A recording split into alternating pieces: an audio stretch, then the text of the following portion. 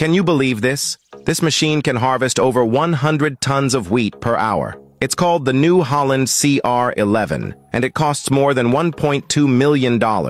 One of the most powerful combine harvesters in the world. It was built for one reason, to take on its biggest rival, the John Deere X9. Under the hood, it packs a 775 horsepower diesel engine that drives a unique twin-rotor separation system, allowing it to thresh, clean, and sort grain simultaneously with almost no human input. This setup makes it over 30% more efficient than most traditional harvesters, and it can run non-stop for more than a dozen hours. Even the unloading speed is insane about 55 gallons per second. In just a few seconds, an entire truck can be filled to the brim. Inside the cab, smart sensors constantly monitor the grain's moisture and impurity levels, automatically adjusting airflow and rotor speed to optimize performance on the go.